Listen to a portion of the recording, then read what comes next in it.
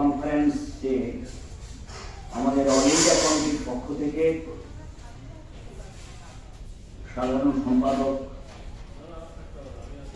এবং আমাদের all India কমিটির ট্রেজারার মিস্টার কমল সাইন কি উদ্দেশ্য নিয়ে আমরা এই কনফারেন্স আজকের এই প্রেস কনফারেন্স ডেকেছি। আপনাদের কাছে বিস্তারিতভাবে বলেছেন। অল ইন্ডিয়া লেভেলে যেভাবে সমস্ত রাজ্যে রাজ্যে নেতাজি সুভাষ আমরা একশো পঁচিশতম জন্মবর্ষ উদযাপন কমিটির পক্ষ থেকে প্রতিটি জেলায়, প্রতিটি এলাকা ধরে ধরে গত দু বছর ধরে নেতাজি সুভাষচন্দ্র বসুর তার জীবন সংগ্রামের ইতিহাস তার চর্চা করার আমরা চেষ্টা করেছি।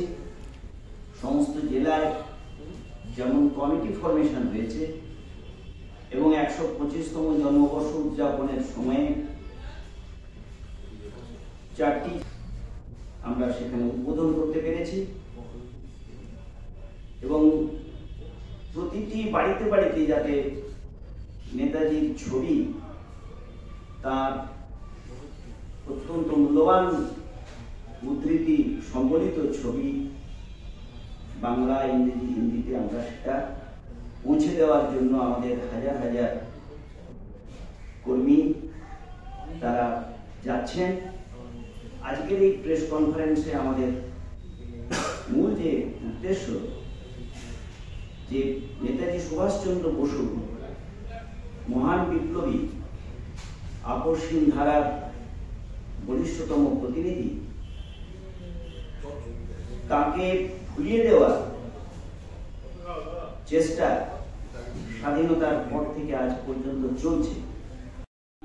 একত্রিশে ডিসেম্বর তিনটের সময় ওয়েবিনারে এবং আমরা সবাই খুবই আনন্দের সঙ্গে আমরা গভীর আগ্রহে অপেক্ষা করছি। এই দিন মহান বিপ্লবী নেতাজির কন্যা, ডক্টর অনিতা বসু পাপ তিনি বক্তব্য রাখবেন শুধু জার্মানি থেকে।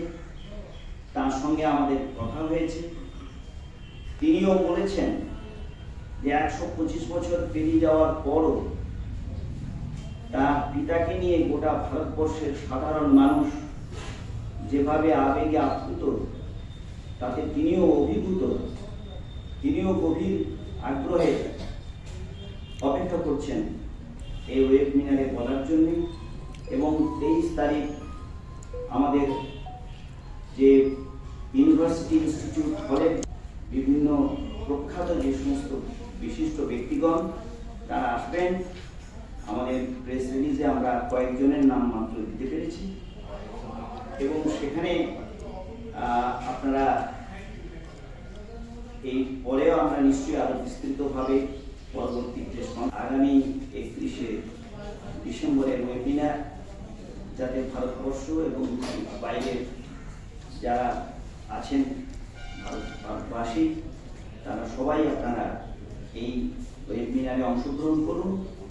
এই আপনাদের কাছে আবেদন করতে আমার বক্তব্য শেষ করি। সর্বভারতীয় স্তরে নেতাজি সুভাষচন্দ্র বসু একশো পঁচিশতম বার্ষিকী পালন করার উদ্দেশ্যে এই কমিটি গঠন, গঠিত হয়েছিল উনিশশো দু হাজার একুশ সালের তেইশে জানুয়ারি। আপনারা সকলে জানেন, কোভিড পরিস্থিতির জন্য আমরা যেভাবে চেয়েছিলাম নেতাজি সুভাষচন্দ্র বসুর জীবন সংগ্রামকে সাধারণ মানুষের মধ্যে নিয়ে যাওয়া, সেটা আমরা পারিনি। আমরা ছোটোখাটো কিছু প্রোগ্রাম ছাড়া, কর্মসূচি ছাড়া, অন্যান্য কর্মসূচিগুলো আমরা অনলাইন করতে বাধ্য হয়েছি। সেই কারণে যথাযথভাবেই এই কমিটি সিদ্ধান্ত নেয় যে আরও একটি বছর এই কর্মসূচিকে আমরা পালন করব এবং সেই কর্মসূচি আজকে পালিত হতে চলেছে একশো ছাব্বিশতম জন্মবার্ষিকী পালন করার উদ্দেশ্যে। আপনারা জানেন, আমরা অলরেডি বলে রেখেছি এখানে হ্যান্ড আউটেও আমরা দিয়েছি যে তেইশে জানুয়ারি দু হাজার তেইশ সালে আমরা নেতাজি সুভাষচন্দ্র বসুর একশো চব্বিশতম বর্ষটি পালন করতে চলেছি এবং আরেকটা অ্যানাউন্সমেন্ট আমরা করেছি, ঘোষণা করেছি যে এক তারিখ থেকে, পয়লা জানুয়ারি থেকে তেইশে জানুয়ারি পর্যন্ত বিভিন্ন কর্মসূচির মাধ্যমে এই মহান বিপ্লবীর কর্মজীবন এবং তার স্ট্রাগল তার সংগ্রামকে আমরা তুলে ধরব এবং প্রত্যেকটি মানুষের কাছে ঘরে ঘরে আমরা পৌঁছাতে চাই এটা নিয়ে। এবং এই যে এক তারিখ থেকে, পয়লা জানুয়ারি থেকে তেইশে অনুষ্ঠান। এই অনুষ্ঠানকে আমরা ঘোষণা করতে চলেছি, তার একটা ওয়েবিনার আমরা ওয়েবিনার মতে এটাকে উদ্বোধন করতে চাই। এই একত্রিশে ডিসেম্বর। একত্রিশে ডিসেম্বর আমরা একটা অনলাইন ওয়েবিনারের মাধ্যমে এই সমস্ত কর্মসূচিকে ঘোষণা করব এবং নেতাজির জীবন চর্চার মাধ্যমে এই ওয়েবিনারকে সকল মানুষের কাছে পৌঁছে দিতে চাই।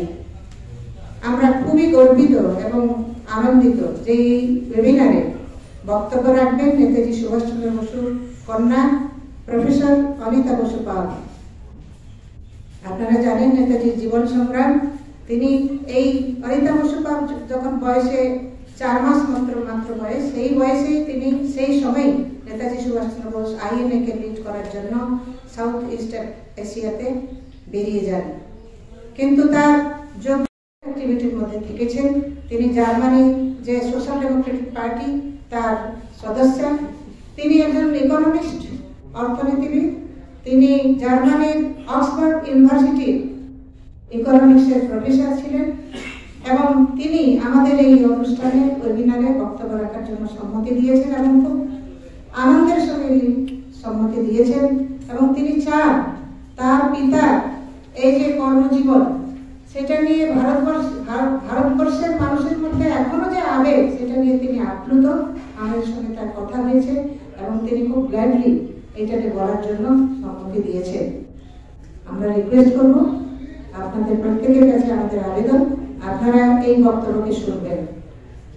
এছাড়া আরও একজন মহত্বপূর্ণ, গুরুত্বপূর্ণ ব্যক্তি এই অনুষ্ঠানে বলবেন ওয়েবিনারে বলবেন, তিনি হচ্ছেন আমাদের সংগঠনের এই যে কমিটি কমিটির secretary president doctor Soumitra Banerjee. তিনি একজন বিজ্ঞানী তিনি কলকাতা আইজারের প্রফেসর তিনি খড়গপুর আইআইটির প্রফেসর ছিলেন, তিনি ভারতবর্ষের সমস্ত বিজ্ঞান যে একাডেমিগুলো আছে, তার ফেলো তিনি আন্তরাষ্ট্রীয় স্তরে আন্তর্জাতিক স্তরে যে সমস্ত দুটো বিখ্যাত সায়েন্স একাডেমি আছে, তার ফেলো এবং ব্রেক থ্রু সায়েন্স সোসাইটি যে সোসাইটির কাজ হচ্ছে বিজ্ঞান, বৈজ্ঞানিক মানসিকতাকে মানসিকতাকে প্রচার প্রসার ঘটানো সেটার জেনারেল সেক্রেটারি তিনিও এটাতে বলবেন, আমাদের কমিটির উদ্দেশ্য নিয়ে তিনি বলবেন এবং ইন্ট্রোডিউস করবেন প্রত্যেকটি মানুষের কাছে। তাই আমি কমিটির জেনারেল সেক্রেটারি হিসাবে, সাধারণ সম্পাদক হিসাবে আপনাদের প্রত্যেকের কাছে আবেদন করছি। প্রত্যেকটি মানুষের, ভারতবর্ষের এবং ভারতবর্ষের বাইরেও যারা আছেন, যারা নেতাজিকে ভালোবাসেন, শ্রদ্ধা করেন তারা তেইশে জানুয়ারিকে পালন করবেন। একত্রিশে ডিসেম্বর এই ওয়েবিনারটিকে শুনবেন এবং আমরা একটা আবেদন জানিয়েছি বিভিন্ন যে ক্লাব বিভিন্ন সোশ্যাল অর্গানাইজেশন কালচারাল অর্গানাইজেশনগুলো আছে, এই সমস্ত মানেরা কালেকটিভলি যৌথভাবে এই ওয়েবিনারটাকে শুনবেন এবং নেতাজির জীবন চর্চাকে এগিয়ে নিয়ে যাবেন।